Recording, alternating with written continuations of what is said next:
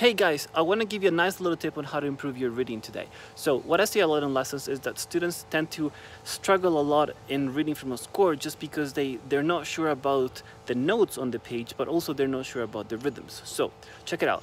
Let's go to the board. So melodies are up here, okay? Now melodies, whatever melody you're working on, doesn't matter, okay? They're made up of two things. They're made up of notes, okay? And rhythm. Okay?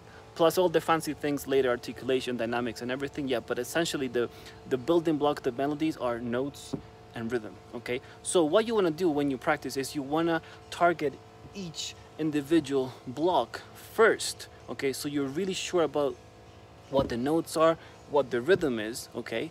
So when you then you put them together and you actually play the melody as it is you're actually a bit stronger and you're just more confident okay? So when you have a melody okay first just focus on the notes. Forget about the rhythm okay? Just play the notes one after the other really long notes.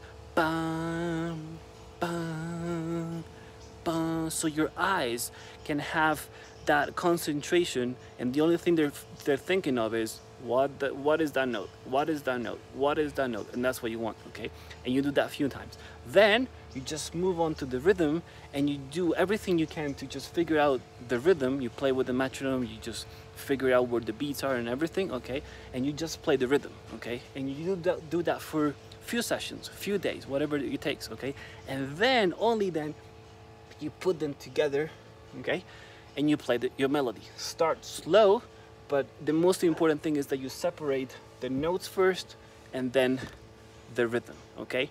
Now if you're struggling with reading i'm doing a workshop this coming saturday exactly on this plus many many other things um, and everything to get you reading fluently you know just without even thinking about it. Like like you normally read a book that's the that's the aim okay? So i'm doing this workshop. You can find the link in the bio in the description uh, in my profile as well. And i hope to see you there. And remember notes first rhythm first or rhythm first notes first it doesn't matter okay? But you want to target one at the time. So then when you put them together it's easier to play okay? Check it out so I'm gonna make up a very simple melody with a very simple rhythm and I'm actually gonna show you what I mean okay so the melody goes something like this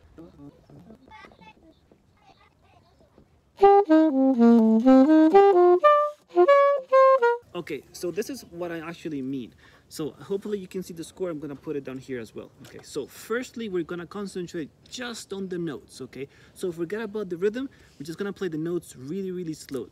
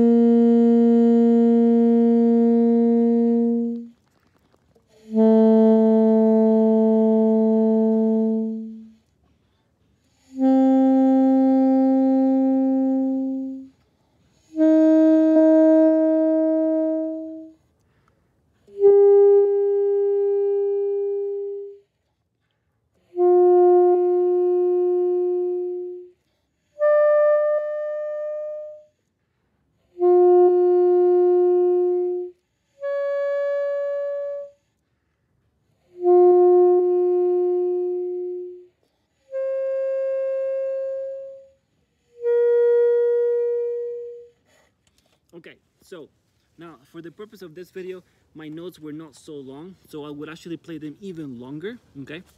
Because that gives you the possibility of really focusing your attention to one and every single note. That's the important thing, okay? And I will repeat this process many times, you know? Maybe you start with a very low note and as as you do it, the long note becomes a little shorter but still long okay? Because you need that repetition you know? And your eye needs to go like oh that's an F sharp. Oh that's an F sharp. Okay so that's the first thing to do okay? Now the second thing to do would be to do uh, to work on the rhythm okay? The first bar is only a bunch of the of, of eighth notes. Uh, there's a really cool thing that you can do if you're struggling with eighth notes and this is what it is. So this is the beat. One let's take it slower. Three four.